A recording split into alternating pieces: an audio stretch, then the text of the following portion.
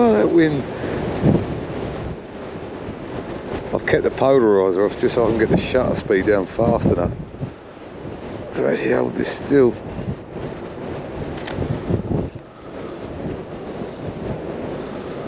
if that's coming out, it's alright, it's not too bad.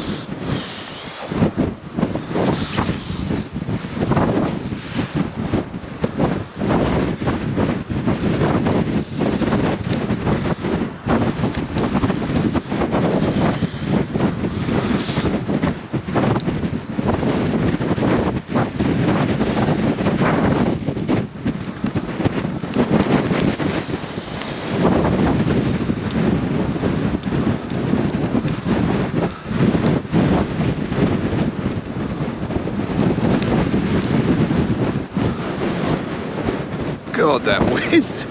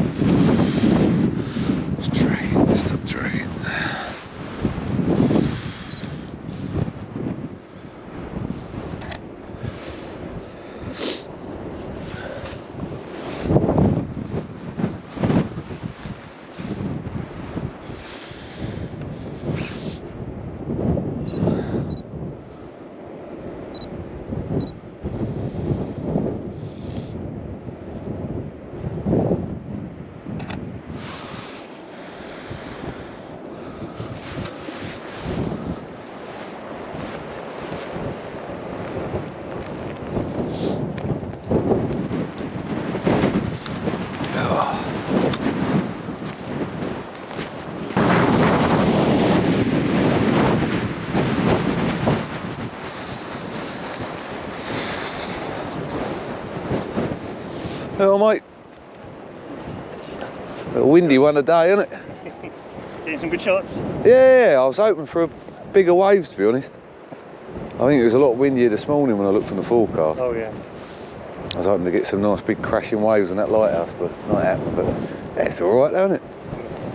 Too bad, because just do with them clouds disappearing. I'll get a bit of nice light. have a good day, mate. That's so open in my idea. What, sorry? No day with my idea. Yeah. Yeah, I think it's meant to, but I don't know. Yeah. Yeah, I'm hoping it just clears away a bit for sunset, really, but you never know. You have a good day, mate.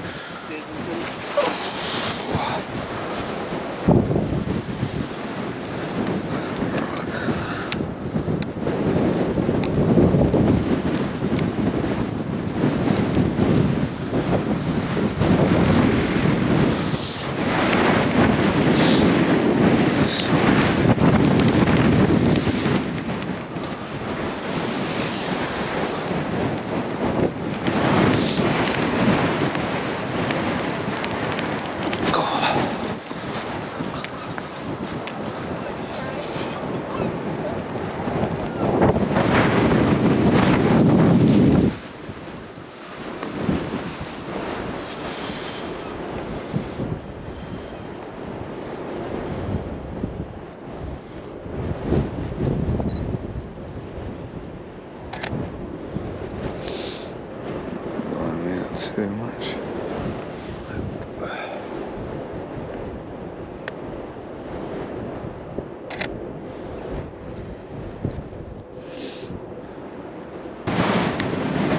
There we go, a bit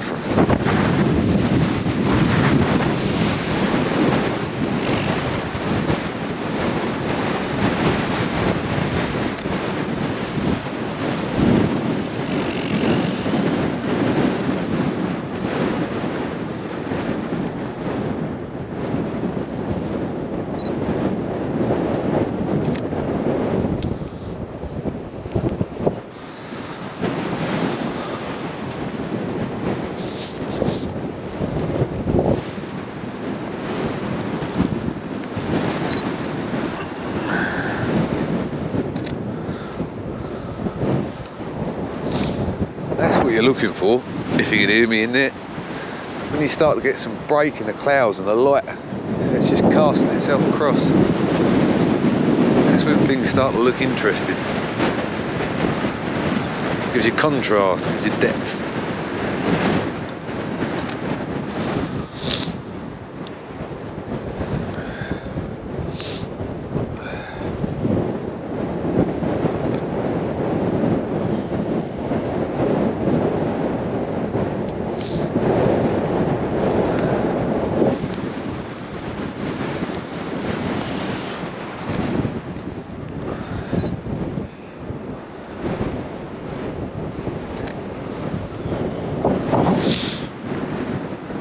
Sort of ones.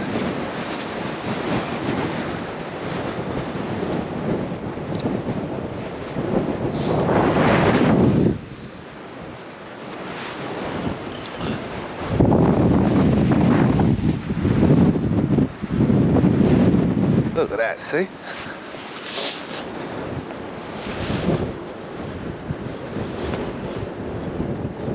How much better does that look?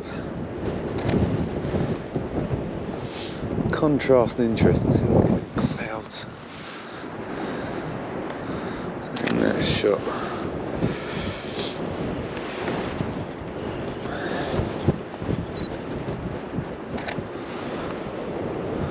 Casting light.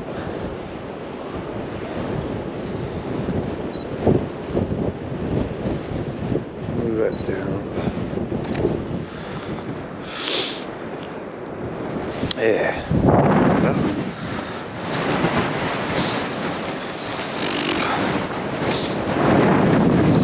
It's a lighthouse.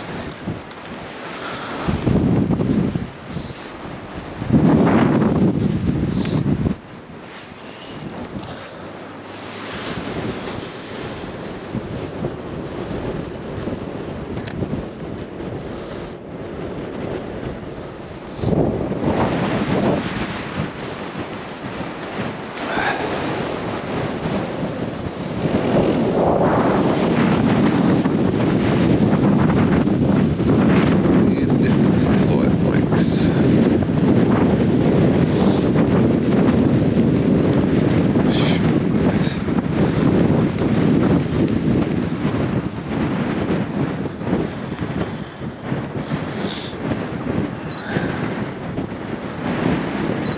This is what I'm interested to test on this camera.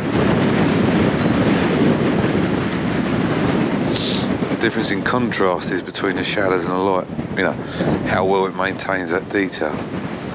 I'll take it back into uh, processing it.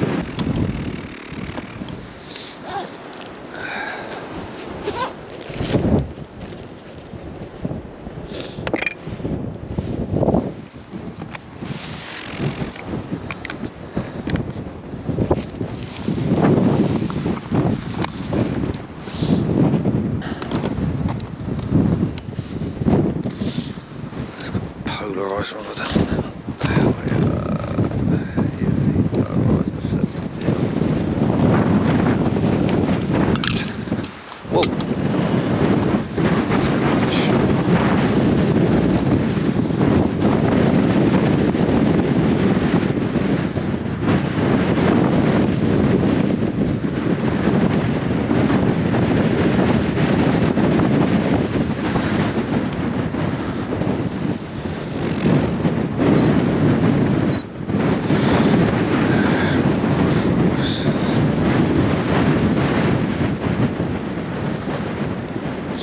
The difference, look, I'll take this at 40 mil. Compare that to the 70 I done a minute ago. That's at 40. I pull that out right at the 17. Yeah, just about the 17. Look at the difference in the image. Don't know if I maintain the shadows there or not. Uh, info. I might be clipping out the black, so I might be able to pull them back. So I don't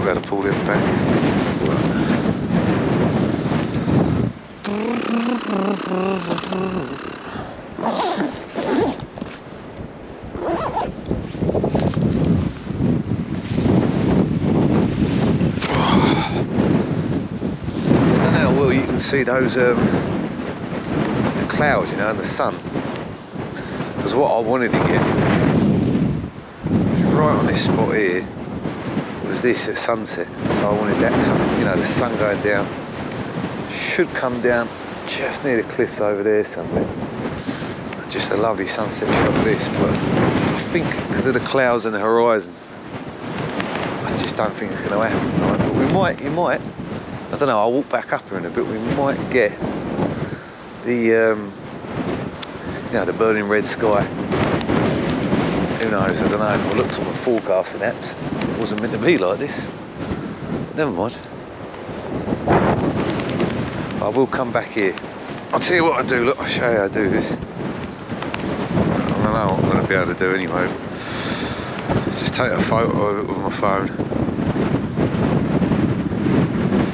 And later on, I hope I've got that high enough so you can see it. Later on, you just come in, click in information, and it gives you the GPS location of where that is. And you can just come back to it. I mean, it's not hard here because I'm walking on a cliff edge, so there's only so many places I can go. But yeah, give that a go later on.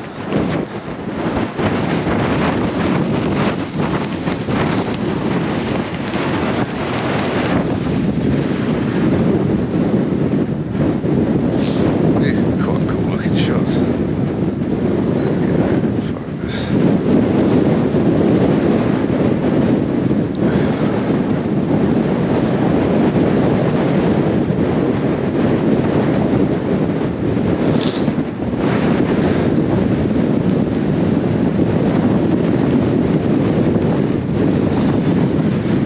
Let's see what we got over here.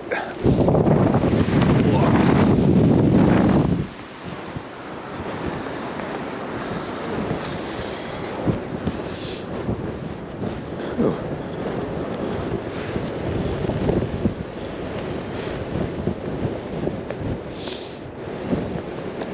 Oh, my nose, sorry. I keep sniffing. Yeah, I like that. Ooh. That cliff's been cracking away, so be careful of that.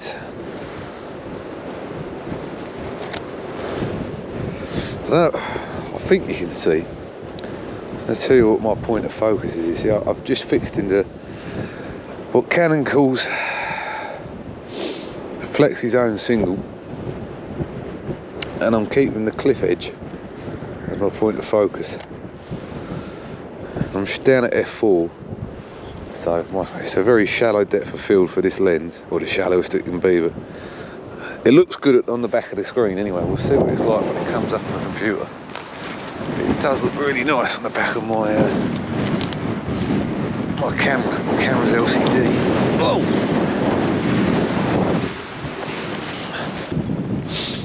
I didn't explain that correctly a minute ago. Let me start over again. Basically, I set up on a tripod because what I want to be able to do is narrow my aperture down, so go into a higher f number, so I bring more of my scene into focus. I keep my ISO low, so my image isn't too noisy. And that way, I get a nice, well, as clean a, as clean an image as I can make. And then a nice clean image as much in focus as I want to be, the correct aperture. When I blow it up onto a big print, you get a nice clean image. Whereas if I was to do it handheld, I've got to keep my aperture wide open so I can keep a fast enough fast enough shutter speed so that when I take the uh, you know I take the picture, there's not motion, no motion it. I shake from my hands. So that's that's the reason why it's, why I'm setting up on a tripod. It's to do with my aperture, my depth of field, and also my ISO. So yeah, I think that's a better explanation than the one I gave a moment ago. I don't really know. Oh, look at that sun.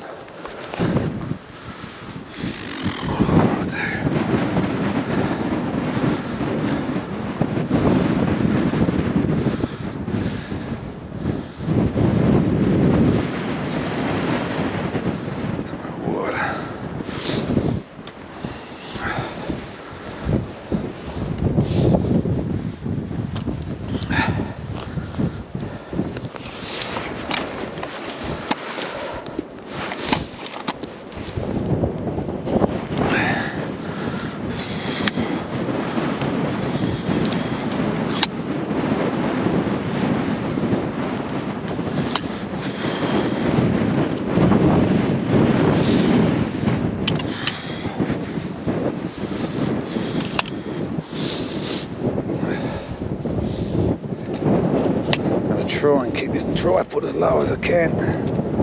It's away from the wind and I've definitely got that sun I was after. Look at that light. I don't know how much of this you can see on the back of the screen, but anyway, I didn't bring all the gear with me today to be able to do the particulars that I do for the videos.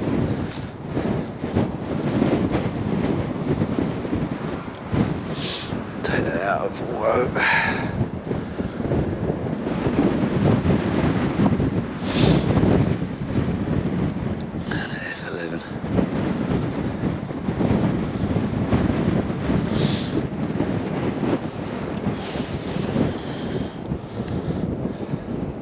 So I'm just positioning, I'm going to try and get the sun, lighthouse in the centre, the sun on the third, the cliff's just beyond that, so thing. I have to go. That's 11 for that. I might have to HDR this image, but we'll see. In fact, that's what I will do. I will take one.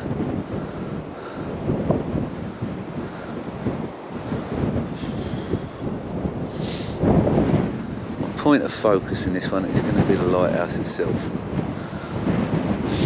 Set up uh, the timer. Two second timer. Hope that this stays still enough in that wind. F11. Five seconds am I on? No, I'm not. One fifth of a second. That might be alright. I don't know if you can see the histogram there put it up, hopefully you can see the screen a bit better. That might be alright. I'll take a shot like that and see what it's like. I'll hold my tripod down.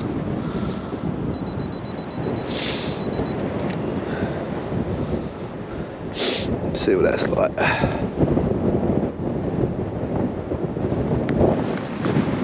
It's pretty good I think for focus. It's the best I'm gonna get now.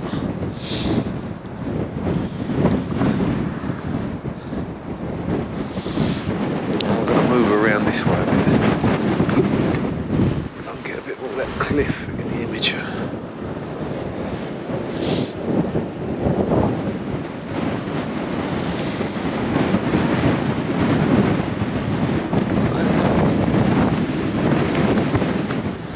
Much. I'm just going to try a different perspective it.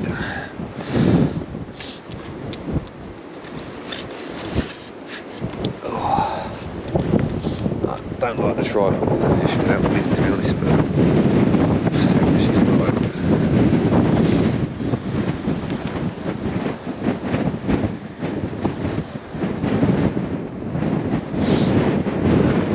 Horizon. Yeah, lighthouse. Sticking at F11. Bring up my histogram. Check. highlights are clipping a little bit, but I'll give that a go.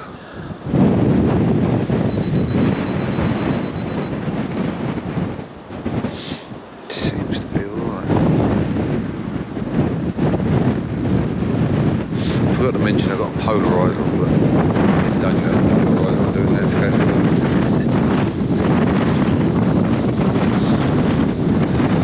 I think that shot's alright to be fair. The sun's clipping a bit, but I'll be able to pull those highlights back. Now, ah, the sun's gone now. She's disappeared. Still, I've got the shot I wanted. Not quite getting the burning skies up. I'd hope for do.